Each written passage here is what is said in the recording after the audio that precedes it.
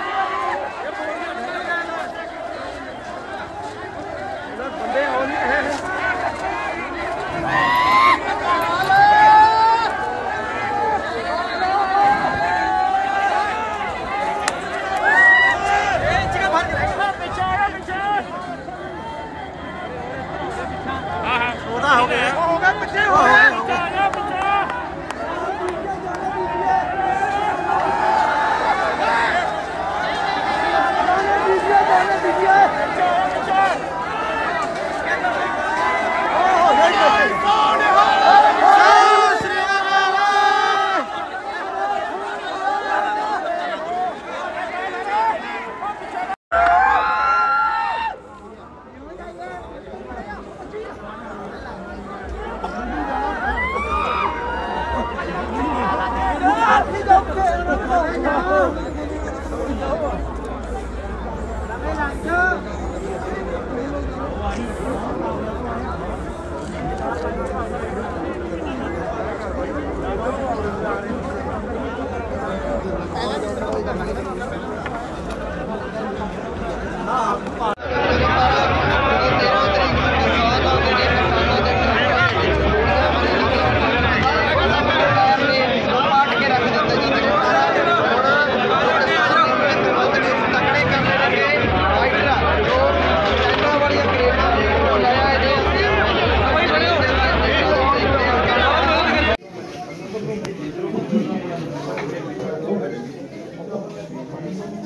ਲੱਗ ਸਿਰ 'ਚ ਗੋਲੀ ਲੱਗਣ ਕਰਕੇ ਸ਼ਹੀਦ ਹੋਇਆ ਆ ਦੇ ਸਿਰ 'ਚ ਗੋਲੀ ਵੱਜਣ ਕਾਰਨ